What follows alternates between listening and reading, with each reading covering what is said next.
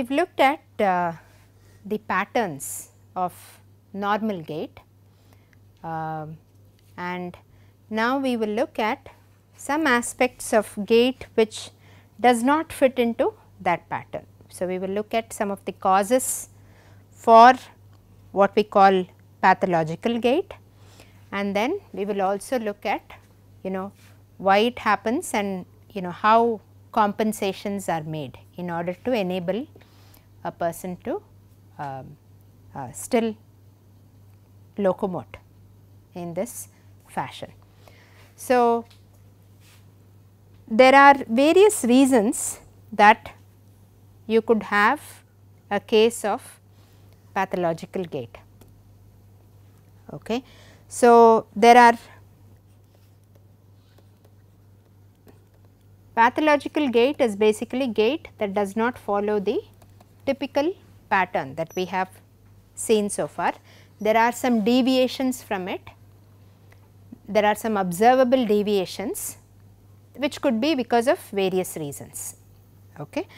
And so, there are you can club them into like 5 functional categories.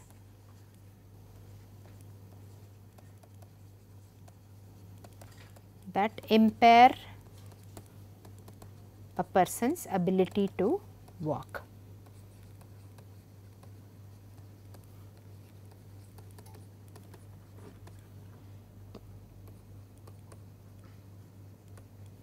One is you could have deformity,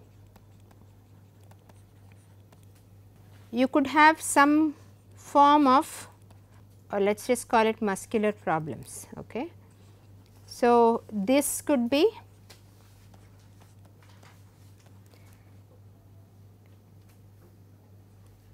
there are different things that could happen. You could have like a what is known as a contracture and I will explain these.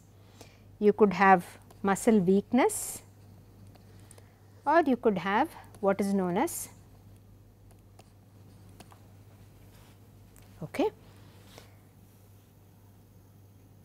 Then the third category is you could have sensory loss. Pathological gait could be because of sensory loss. It could be because of pain and it could be because of impaired motor control.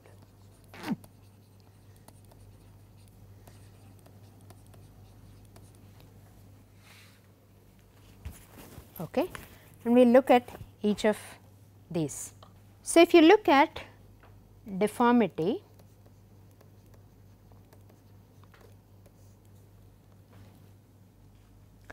in some ways the tissues, the soft tissues impair,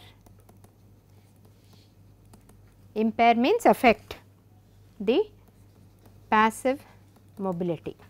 So, this is not active things that we are, muscles are your only actuators, right, but there is some problem with the tissues that could uh, cause passive mobility. And actually I should go back. This contracture comes under this. One of those could be a contracture which I will. And so this prevents normal postures and range of motion at the various joints. This is a common term that is used ROM is range of motion.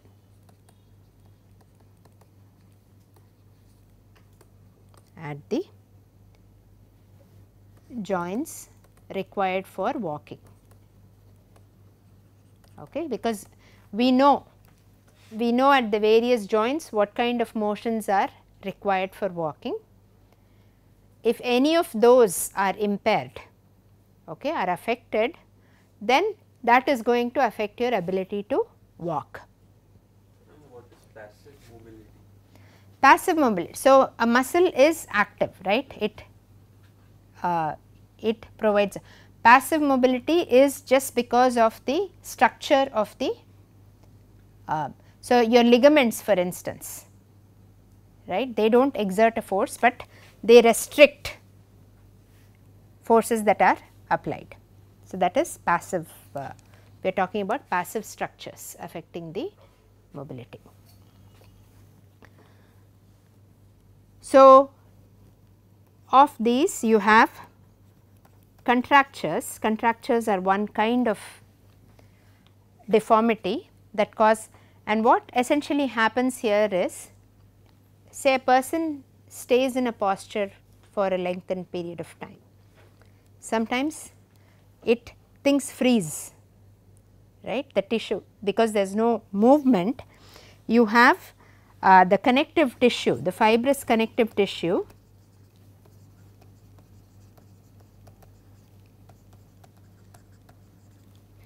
actually undergoes a structural change.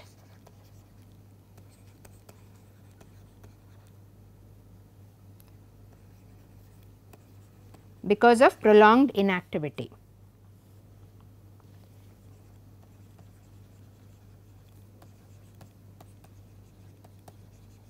It stiffens right and then the range of motion at that joint is now the full range of motion at the joint is now not possible. So, for some people you may see that at their hip for instance, they may not be able to fully extend the hip. The hip may stay in a slightly flexed position.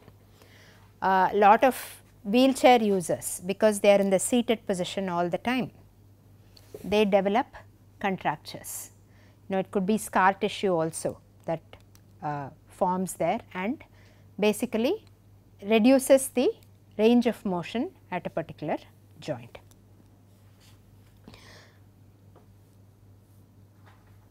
So, you could have prolonged inactivity or, or scarring from injury. You, you know when you have a scar right that eh, on your skin that area is not as elastic. You know till the scar falls off and that skin heals you lose the elasticity in that area. So, imagine that happens across a joint, then you are not going to be able to uh, have the full range of motion at that joint. Okay. So, that is what a contracture is and these tissues basically resist passive motion.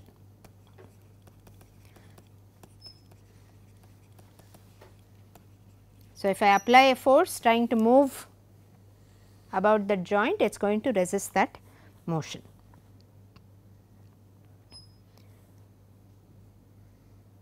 So, for instance, if you had a knee flexion contracture, what are possible? How could it possibly affect your ability to walk? If you had a knee flexion contracture, remember what are the functions of the knee? Okay. So, when you in weight acceptance you want to have full extension and if that is not possible then that affects your ability to weight bear in an extended with an extended knee in, in which case it affect, affects your stability. Another thing when you are advancing the limb right in the swing phase you have to be able to fully extend in order to attain the step length that you want. If the knee cannot extend fully, if it always stays flexed, then again you are go not going to achieve the normal so called normal step length. So, this is the way that a contracture could affect your ability to walk. You may still be able to walk, but modifications happen and um, the way you walk also will have to change because now you have to maintain stability even when landing on a flexed knee. So, you will make other compensations with your body in order to ensure that you still stay stable. Okay. So, those are so if you have a knee flexion um, contracture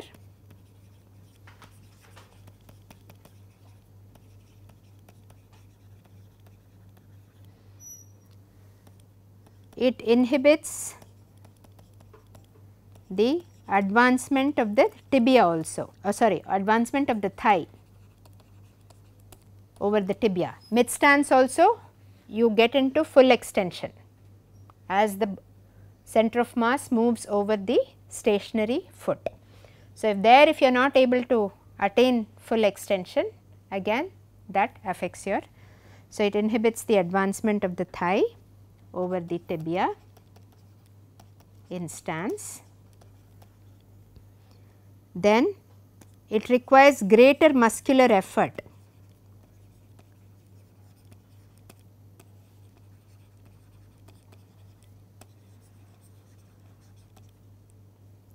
to stabilize the flexed weight bearing knee.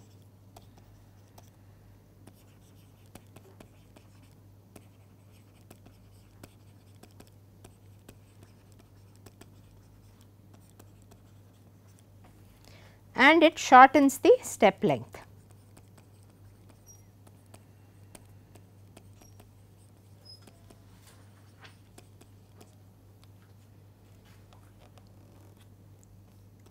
due to reduced knee extension in the terminal swing.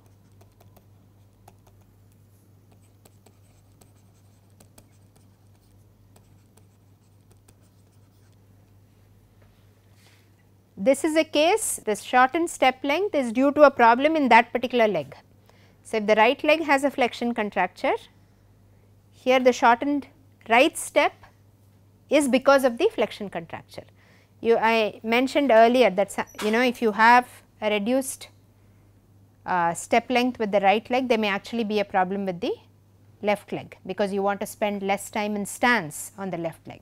This is a case where the right you know if there is a right flexion contracture uh, knee flexion contracture the right step length is reduced because of that. So, it is a case where there is a direct connection between a deformity in that leg and a reduced step length with that particular leg. Other causes, other kinds of deformities that could affect the gait are you could have abnormal joint contours,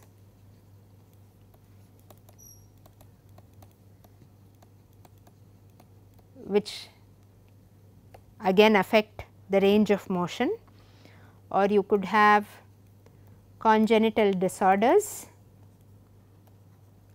like a club foot.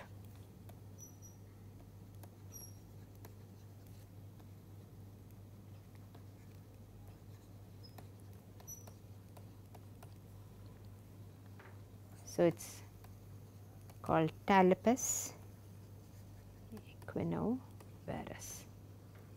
It is in an inverted position. You, you can't you know the foot instead of being in the neutral position there is some deformity in the foot that causes it to have you know it's it, it won't a person with a club foot may not be able to put their foot flat on the ground. It may be deformed in a certain way okay the other thing that i was talking about is the drop foot where there is weakness in the dorsiflexors so, the foot cannot be in the neutral position that is drop foot, this is club foot. Club foot is where you have uh, you can look up some images of this, but uh, it, it happens at birth and the children cannot keep you know make their foot flat. Okay, so, the foot is inverted. So, that is um, a club foot. So, these again could cause these are all deformities.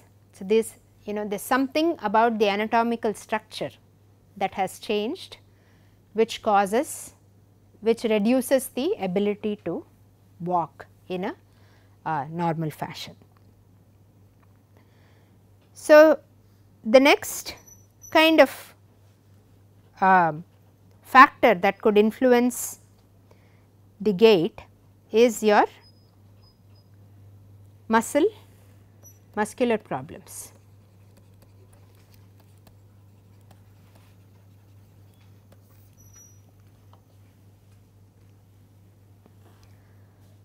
So, you could have insufficient. So, if you have weakness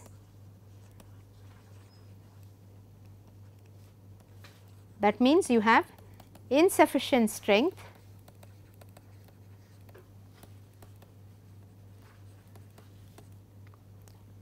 to meet the demands of walking. So, this could be at various there are various muscle groups involved in walking. So, depending on which muscle group is affected you could have different set of problems. Causes could be you could have had some kind of a neurological impairment like polio, you know something because of polio after you could have muscular dystrophy. So, there are uh, conditions like that which are neurological conditions.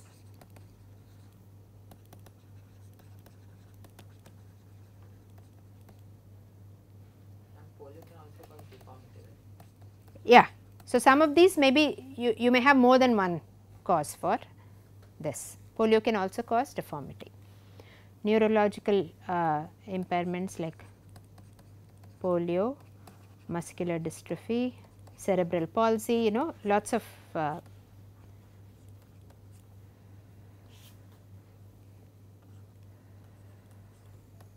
etc. The other type of cause for the other cause for muscle weakness is what is known as atrophy. Atrophy is its wasting away because of disuse. So, say somebody is bedridden, okay, they have not used their muscles in a while, they can't suddenly get up and walk because those muscles have weakened. The body thinks if you do not, if you are not using it, it thinks you do not need it and so it starts wasting away. So, if, if you have a fracture for instance after a long time then if you suddenly once you take off the cast you have to actually do therapy to build up your muscle strength again. You will not be able to do the same things immediately okay, because you have to the muscle has atrophied. Atrophied is basically wasting away because of disuse. So, that it basically becomes weaker and again you have to build up the strength in the muscle. So, this is one cause the spasticity is is actually a neurological problem because the muscle is overactive. Okay, the muscles uh, some muscle becomes so they may not have control over when that muscle is being activated. So, children with cerebral palsy for instance, many of them undergo a lot of this you know these kind of uh, this kind of cramping and uh, cramping is an example of spasticity. You can't control the uh, it is painful and you can see that the muscle is uh, over exerting right and you know how painful that can be. So, if you have spasticity then again some muscle is being too strong and that is that can be a problem because again that will prevent full range of motion at a particular joint. Okay. So,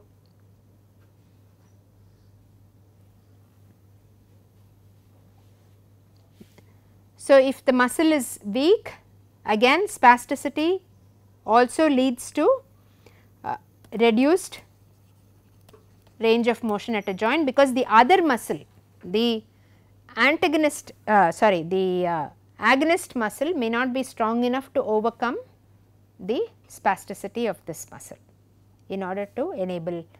Uh, so, for instance, if you have spasticity in the hamstrings, then your quadriceps have to work very hard to try to extend your knee which may not always be possible.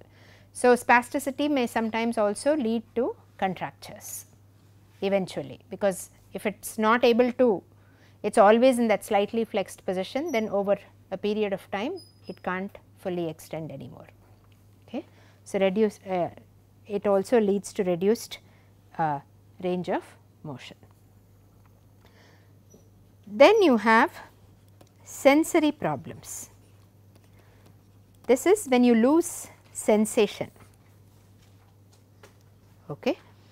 And with walking especially it is very important. See we do not pay a lot of attention when we are walking. I mean you are not always looking at where you are placing your foot, where you are placing your you know what posture your leg is in when you are walking. You are not really thinking about it because of what is known as proprioception. Proprioception is the body's ability to know where your segments are located in space. Okay. You have I do not have to look at something to know where it is, you know whether it is my finger or my you know I, I know where that is. So, this is if you have impaired proprioception then your ability to locate your limbs in space is compromised. So, the person does not know the exact location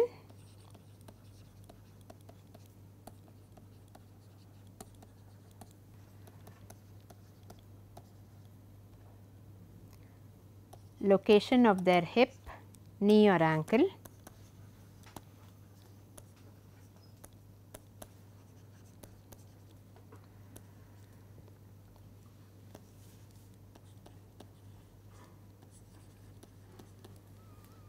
And the type of contact with the floor. So, what happens they become extremely cautious about how they are going to because they have to actually see pay attention to where things are you know. Uh, so, people with say Parkinson's or something you know they have to actually be very careful about you you will see that they have you know they will walk with very short steps because they are afraid they do not know exactly where their limbs are located in space. And the uh, type of contact with the floor. So, they do not know when it is safe to transfer weight. So, they become more anxious about uh, because they think they will fall because they they do not have that awareness of where the segments are placed and what type of contact. Again if you lose contact, you know if you have sensory loss, if you are um, a diabetic who has lost, uh, you know you, you can't feel the ground, then you have to pay more attention to when your foot is in contact with the ground. Okay. So, their walking becomes slow and cautious.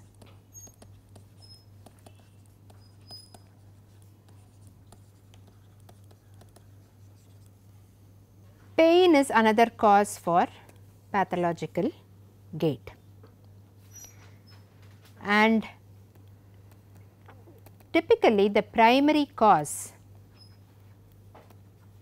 of musculoskeletal pain, because we are talking about pain that influences walking, primary cause of musculoskeletal pain is excessive tension in the tissues.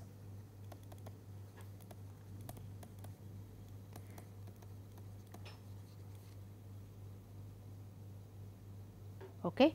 So, when you have a sprain or when you have um, um, this is or even in the case of spasticity right? The pain is because of the excessive tension in the tissues. Okay? And then you have to um, sometimes because of this pain. So, if you are trying to do something and it causes you pain, the natural instinct is to stop doing that. Okay. And then the disuse leads to other problems. So, it is a wish it becomes a vicious cycle that leads to muscular weakness that leads to uh, again it reduces your ability to uh, perform the activity. Okay. So, pain could also be because of other things like joint pain, you know like you could have uh, uh, joint pain as well say because of osteoarthritis or rheumatoid arthritis. So, uh, tension in the tissues you could also have joint pain. joint pain could be another cause of uh, impairing a person's ability to walk. And pain and disuse can lead to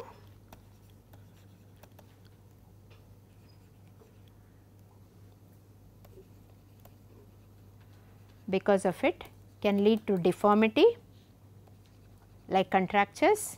So, if I am seated all the time I do not want to walk because it is painful then that can lead to other secondary problems it could lead to deformity and also muscle weakness.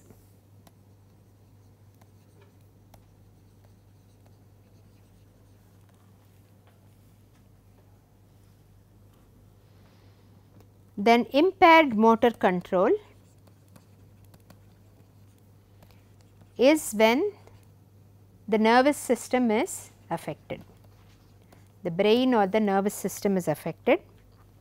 So, a brain or a spinal cord lesion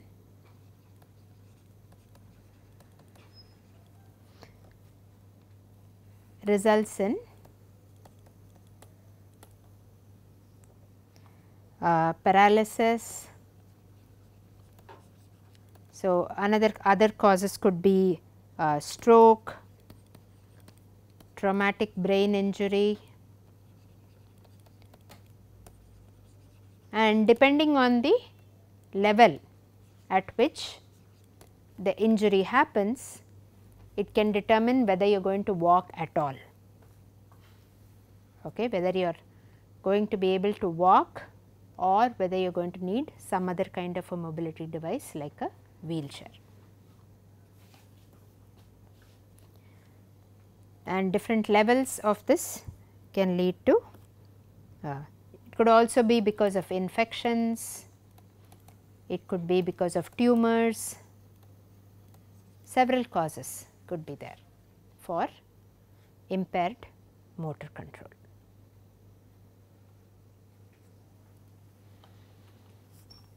and the level of the injury determines the level of ability or inability.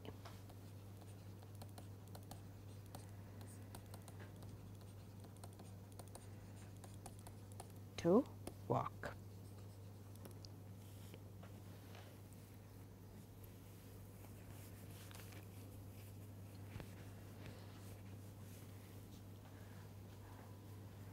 So, when we look at pathological gait, we will not look at it as okay this is the gait of a person with this uh, particular disease or something because usually the the gait could be something that is um, forced on the person. So, they are walking a certain way because of a certain uh, problem or they are compensating for something else. They are compensating for a problem. So, the problem is either causing them to walk in a particular manner or the compensation is causing them to walk in an abnormal fashion. So, those are the two reasons for a person. So, you do not say that and, and how a person adapts to say an injury or to one of these conditions will vary widely. So, you cannot say that a person with this particular uh, uh, condition can be classified as okay if I, I can't say this is paraplegic gait okay say a person is paralyzed below I cannot say this particular gait is paraplegic gait because each person may compensate in different ways. So, when we look at pathological gait, we will look at what is the function they are trying to accomplish and what are the different ways that they could accomplish.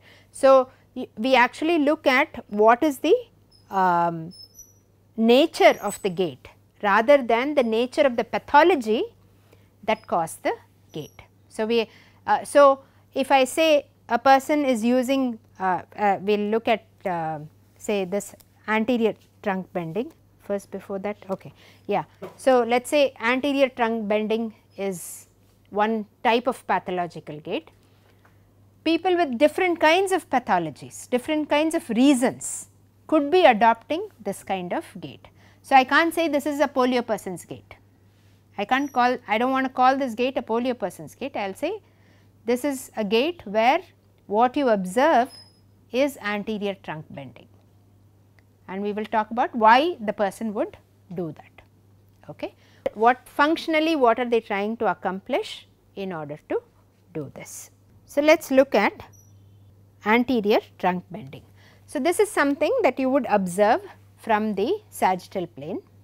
So, if you look at the sagittal, if you look at the gait of the person, the person tends to lean forward as they uh, on their stance leg as they walk. Okay. You see that they are leaning forward and typically the purpose may be to compensate for what do you think is happening here? What are they trying to do? When they lean forward, look at what is happening to the GRF vector. Okay. They are trying to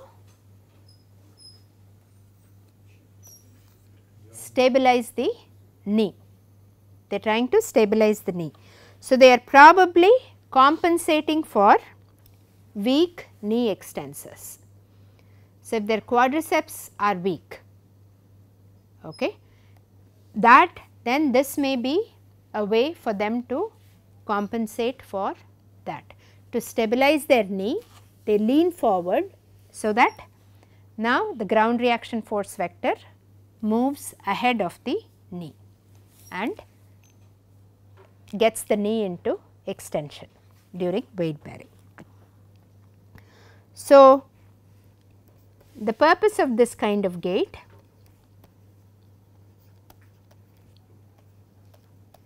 may be to compensate for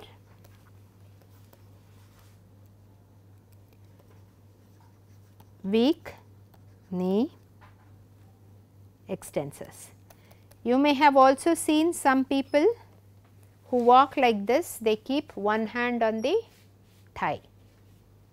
Okay. As they are walking, they lean forward, they will also put one hand on the thigh. Again, the purpose of that is to, so you have this thing like this, right. You are trying to straighten it out. Okay. So, I am trying to straighten it out by pushing on my thigh and also and that also causes my trunk to lean forward and again that also helps to move the ground reaction force vector in front of the knee. So, person may also place one hand on the thigh on the affected side.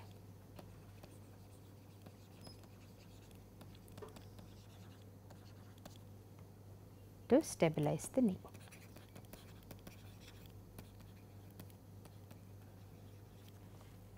What could be another cause for watting?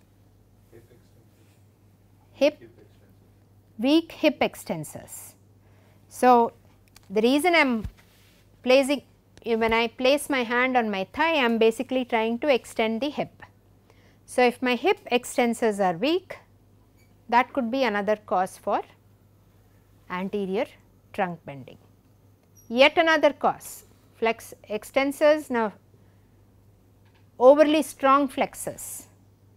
I could have spasticity in my hip flexors or more likely I have a contracture.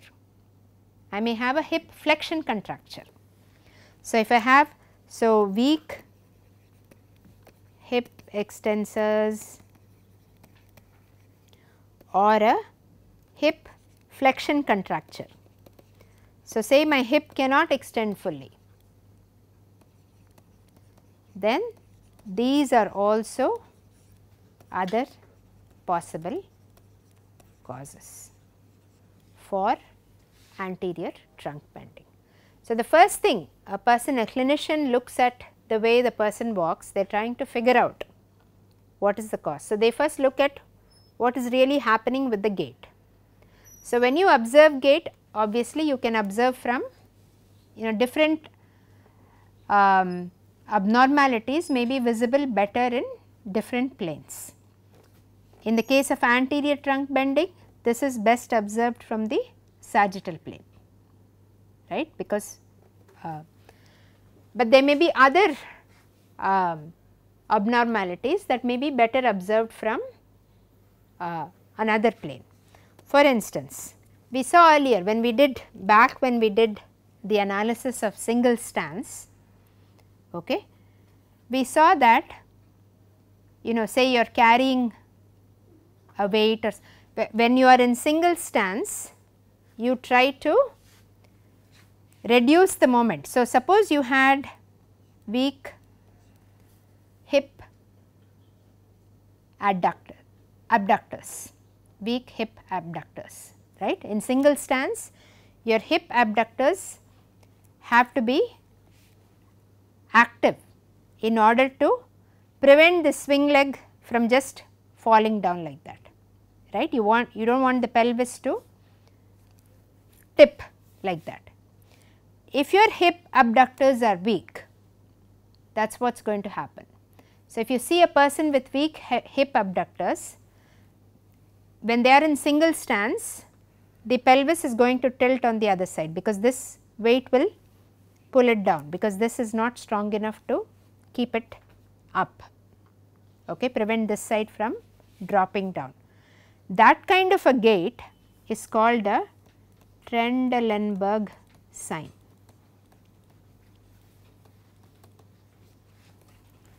Where you have hip abductor weakness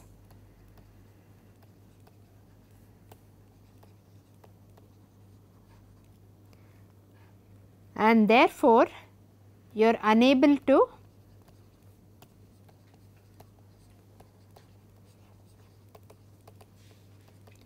to stabilize the pelvis in single leg stance.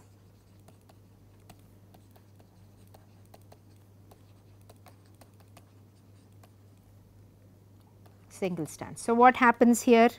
Then in this case the pelvis will drop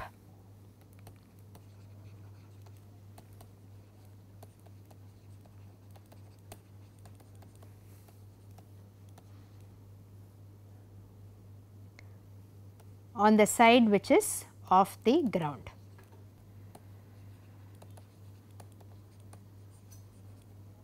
on the swing side right. So, if you see a person like that walking then because they are not able to they are going to their body is going to tilt to the side which is off the ground which again will affect their ability to clear the ground during swing. So, it affects their ability to walk. So, in single leg stance when the other leg is swinging it is actually dropping down. So, they may have to use some other compensation on that side to enable them to clear the ground okay because if the pelvis drops on that side then the swing leg's ability to clear the ground is compromised. So, this is called Trendelenburg sign. The other way a person so, if they have this uh, weakness what they will try to do is okay I know that if I walk erect like that then it is not going to be sufficient. So, what they will do is to compensate they will you know this is basically trying to counter the moment applied by the weight of the trunk uh, you know above the hip the weight of the uh, pelvis and the trunk and the weight of the swinging leg. Okay. So, if I bring those closer to the side of support, then I am reducing that moment. Okay. Then the force that is required in these hip abductors is reduced, which I may be able to then apply. So, then that is called a Trendelenburg gait.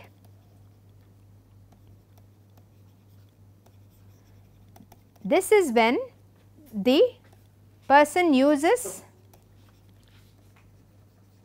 lateral trunk bending. So, they bend their trunk towards the side of support in order to reduce the moments about the hip joint and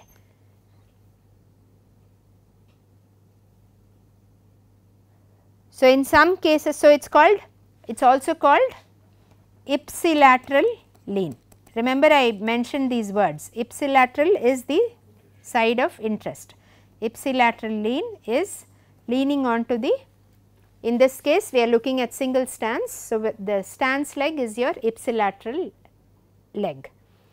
The swinging leg is the contralateral leg. Okay. So, they use ipsilateral lean in order to compensate for the weak hip abductors. It could also be because of see the when the muscles around the joint contract right when they contract with a certain force it increases the contact forces at the joint right you have muscles around a joint. When the muscles contract obviously the joints are brought together. Okay? So it increases the contact force. So if you have a painful joint your hip abductors may be fine. But if you have a painful joint you would do the same thing. You would again try to do this lateral trunk bending so that the moment is reduced and therefore, the force that your hip abductors need to apply to stabilize the pelvis is reduced and therefore, your joint contact forces are reduced. Okay. So, different causes, but what you see is a similar style of gait. So, that is why it is useful to classify the gait by what you see rather than by what could be the cause of the gait. Okay. So, lateral trunk bending is, so this reduces the forces in the abductor muscles and the hip joint during single stance.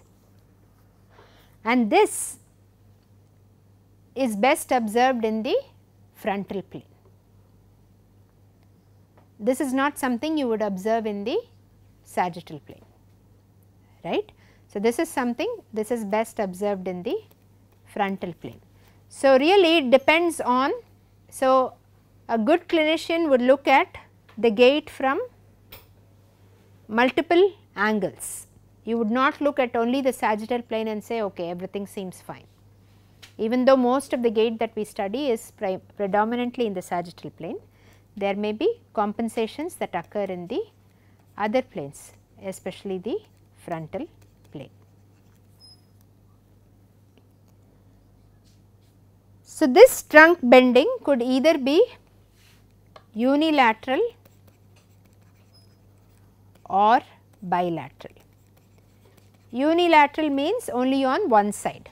So, if there is a specific problem on only one side, then the person may always only, only when they are, so if there is a problem on the right side, then say right hip is painful, has uh, osteoarthritis or something, then they may just do this leaning every time they are on the right leg single stance and they may they may be fine when they are on the left leg.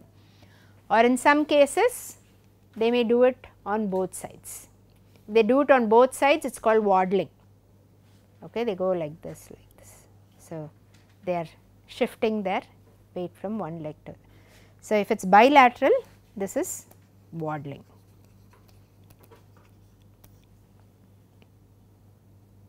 that gait pattern is waddling. Okay. Other causes could be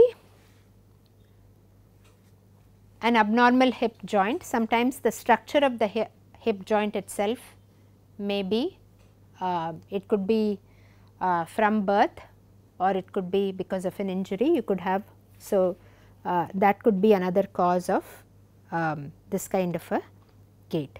So, if the effective length, so the structure is different and say the effective length of the gluteus medius muscle is reduced, then you know that you know when a muscle is away from its normal length, then its ability to pro produce force is affected.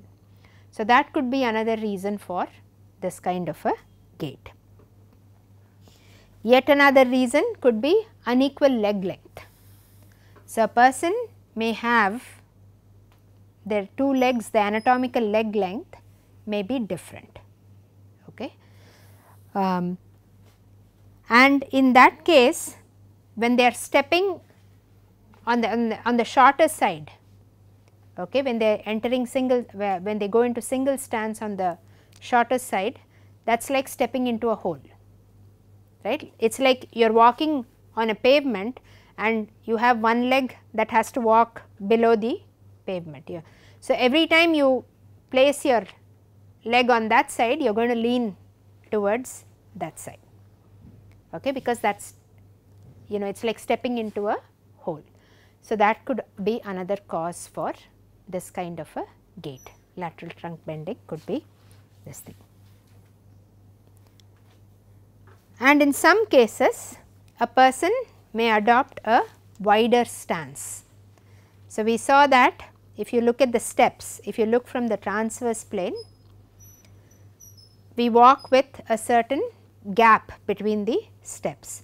So, if a person uses a wider stance for some other reason, then again the trunk has to adapt to that wider stance and you may see that they are using lateral trunk bending in that case. Okay.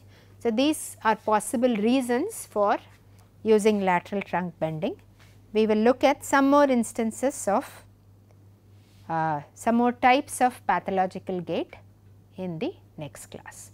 So, you see now why an understanding of normal gait is necessary to because the functional aspects of normal gait, you know the role of the muscles in the normal gait, the joint ranges of motion in normal gait, all those are important to know because when one of those is affected, one or more of those are affected, that is when you start to see the different patterns in the pathological gait and you can kind of deduce that okay. So, if this is happening then this could possibly be the cause for that.